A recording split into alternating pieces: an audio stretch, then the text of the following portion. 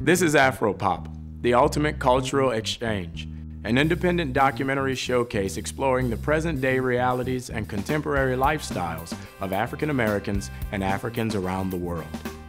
Journey with Afropop and become immersed in an infinite array of lives, locales, and themes. Stories made real by empowering the many voices of the people who live them every day.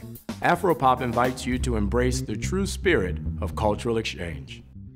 Three, four, five, happy now. Despite the fact I'm younger, he still tries to be faster than me.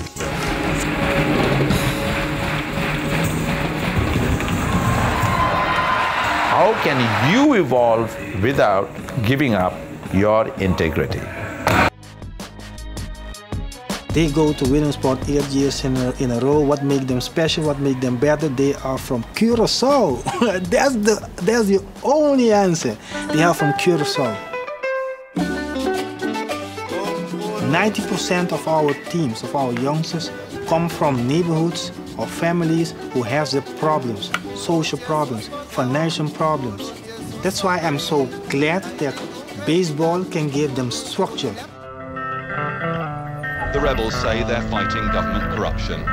Most Sierra Leoneans think they simply want to grab power. My name is Issa Hassan Sesay. You know, I was not born to be a criminal, but system make me to become a, as the court look at me today, they say I'm a criminal. So sometimes that fish they were they go cage, why sell them, that money they able can live sometimes two weeks, three weeks with them. Sometimes make me go them one month, I know they get custom. But any day at the car, I can check now the beach. The customer then they